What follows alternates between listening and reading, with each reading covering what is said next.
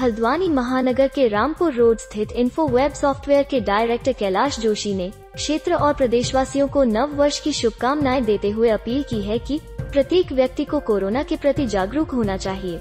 सरकार द्वारा जो भी निर्देश दिए जा रहे हैं, उनका पालन करें ताकि कोरोना की चेन को तोड़ा जा सके। उन्होंने कहा कि पूरा विश्व कोरोना संक्रमण से जूझ रहा है। अभी तक कोई टीका नहीं बना है, ऐसे में जागरूकता ही बचाव का तरीका है। साथ ही जब तक दवाई नहीं बनी, जब तक सावधानी ही दवाई है। उन्होंने कहा कि दो गज की दूरी माँ से ज़रूरी एवं भीड़ भाड़ इलाके में न हो जाए, जिससे कोरोना संक्रमण से बचा जा सके। उन्होंने कहा कि उनका उद्देश्य है उत्तराखंड को डिसलाइट करना। उन्होंने कहा कि उनकी सॉफ्टवेयर कंपनी से बाहरी प्रदेश के लोग भी जुड़े हैं। वे एप्लीकेशन वेबसाइट एवं सॉफ्टवेयर से जुड़ी साइटें बनाते हैं। मैं Kailash Joshi director of info web software की ओर से सभी देशवासियों, क्षेत्रवासियों को नववर्ष की हार्दिक शुभकामनाएँ।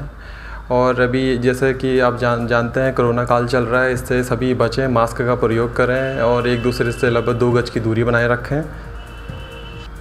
देखो, कोरोना से बचने के लिए बस एक ही अभी वैक्सीन का भी काम चल रहा है। बहुत जल्द हमारे पास वैक्सीन उपलब्ध हो जाएगी। उससे उससे बचने के लिए फ़िलहाल हमारे पास एक ही है कि हम दो गज़ दूरी बनाए रखें सभी से। एक दूसरे से ज़्यादा भीड़ भाड़ वाली जगह में ना जाएँ। मास्क का यूज़ करें देखो, हमारा जो ऑफ़िस है, हल्द्वानी में ऑफ़िस है, हमारा मेन मोटो यही है कि हम उत्तराखंड को एक डिजिटलाइज करें। हमारे जो क्लाइंट वगैरह हैं, बाहर के क्लाइंट भी हैं, दिल्ली के हैं, बेंगलोर हैं आउट ऑफ़ कंट्री भी हैं, और हम जो चाह रहे हैं कि उत्तराखंड को हम डिजिटलाइज करें।